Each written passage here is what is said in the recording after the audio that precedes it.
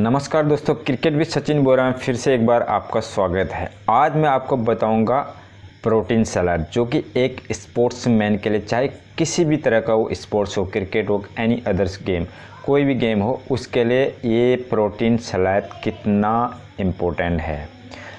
आप जैसे कि जानते हैं कि ग्राउंड्स में जाने के बाद एक प्लेयर कितनी एनर्जी अपनी वेस्ट करता है मतलब कितनी एनर्जी को लॉस्ट करता है। उसकी रिकवरी के लिए हमको बहुत सारी पावरफुल इंग्रेडिएंट्स की ज़रूरत होती है, जो ताकत, जो सोर्सेज होते हैं, हमारी कैलोरी लॉस्ट होती है। बहुत जो है, हमारा जो शरीर है, काफ़ी थक जाता है। तो उस थकान को, उस ताकत को वापस लाने के लिए हमको बहुत सारी चीज़ों की ज़रूरत पड़ती है। मैं नेक्स्ट वीडियो में बताऊँगा कि जो ताकत हमको किन किन चीज़ों से मिल सकती है। लेकिन आज मैं जो बता रहा हूँ, सिर्फ़ प्रोटीन के बारे में बता रहा हूँ। प्रोटीन एक बहुत ही ज़रूरी, हमारे शरीर के लिए एक बहुत ही ज़रूरी चीज़ है, जो कि हर व्यक्ति को नॉर्मल आप, नॉर्मली भी आप इसको ले सकते हैं। अगर आप स्पोर्ट्समैन हैं तो आपके लिए बहुत ही ज़रूरी बन जाता है प्रोटीन का लेना। क्योंकि एक ग्राउंड के अंदर बहुत ही एनर्जी हमारी लॉस्ट होती है। एक प्योर वेज है। नॉन वेजिटेरियन के लिए बहुत सारे और भी जो हैं ऑप्शन हैं खाने के लिए चिकन अंडा और बहुत सारी चीज़ें ऐसी जिनसे प्रोटीन मिलता है। बट वेजिटेरियन के लिए बहुत ही ज़रूरी है। जो मैं आपको पूरा मेथड इसमें बताऊँगा कैसे आपने इसको बनाना है, वो गौर से देखिए।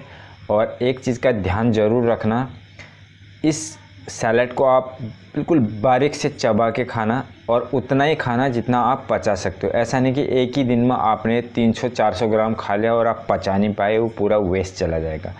धीरे धीरे शुरुआत करें। आप अपने बच्चों को भी इसको खिला सकते हैं। बहुत टेस्टी होता है खाने में। स्टार्टिंग में बच्चे ज़रूर नखरे करते हैं, लेकिन अगर वो नखरे करते हैं तो उनको थोड़ा सा एक स्पून या दो स्पून एक दिन में खिलाइए बस। एक स्पून से शुरुआत करिए। धीरे धीरे उसको इसका हैबिट हो जाएगा तो खाने लग गया। और बहुत ज़रूरी है, आपने खिलाना ही पड़ेगा इसको। अगर बच्चे को आप स्पोर्ट्स में डाले हैं तो बहुत ही इम्पोर्टेंट आपको ये प्रोटीन सलाद है। तो दोस्तों, मैं आपको बताता हूँ कि इसको कैसे बनाना है और कैसे इसका इस्तेमाल करना है। एक बाउल साबुत मूंग की दाल और एक बाउल चना साफ़ करके धो के शाम को आपने भिगा के रख देना है। उसके बाद जब सुबह होती है, इसको पूरा आप सफ़ाई करके दोबारा से इसको आपने रख देना है। अब उसके बाद इसमें हमने स्प्राउट्स निकालने हैं, जिसको अंकुर बोलते हैं। अंकुर हमने कैसे बनाने हैं वो मैं आपको बताऊँगा। हमने इसको दो कपड़ों में, कोई भी साफ़ सुथरा कपड़ा उसमें रख देना है। दोनों को अलग रख, रखो या एक साथ भी रख सकते हो। और उसके बाद उस कपड़े को गीला करना है, गीला करके लटका देना है कहीं पे। और बीच बीच में उसमें आपने पानी के छींटे मारते रहना ताकि वो गीला रहे।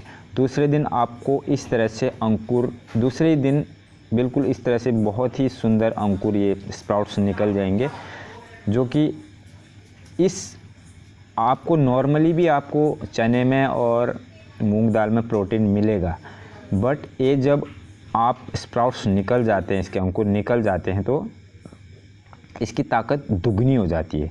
अब देखिए ये आपने, ये देखिए कैसे सुंदर स्प्राउट्स निकले हैं।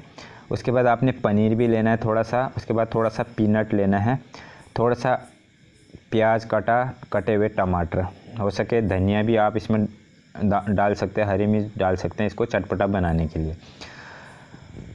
बहुत ही सुंदर और बढ़िया बनता है। उसके बाद आप इसको एक बाउल में सभी को मिक्स कर दीजिए।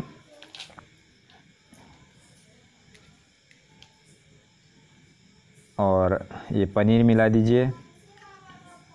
उसके बाद कटा हुआ प्याज और कटा हुआ टमाटर आप इसमें मिला दीजिए।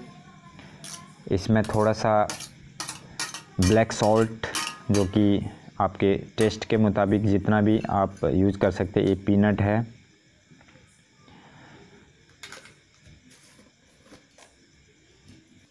उसके बाद इसमें काला नमक या नॉर्मल नमक भी आप मिला सकते हैं।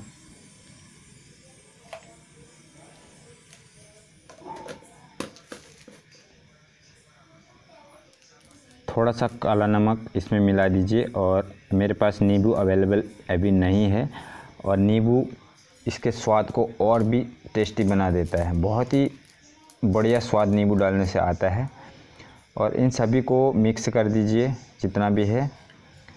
बहुत ही बढ़िया मिक्स करके ये एक सैलड के रूप में आप सुबह, आप जो ब्रेकफास्ट करते हैं, आप ब्रेकफास्ट को मत करिए। आप इसी को ही अपना ब्रेकफास्ट बनाइए। बहुत ही आपको बढ़िया प्रोटीन इससे मिलेगा। अपने बच्चों को खिलाइए और ख़ुद खाइए। एक स्पोर्ट्समैन जो भी है, उसके लिए बहुत ही ज़रूरी है, जैसे कि मैंने बताया था। बस इतना ही इसमें इसको मिलाने के बाद आप इसको सर्व कर सकते हैं। बहुत प्रोटीन युक्त है, जो कि आपको बहुत ही बेनिफिट करेगा। ध्यान रहे कि जब भी आप इसको खाओगे, इसको अच्छी तरह चबा चबा के खाना है और उतना ही खाना है जितना आप इसको पचा सको।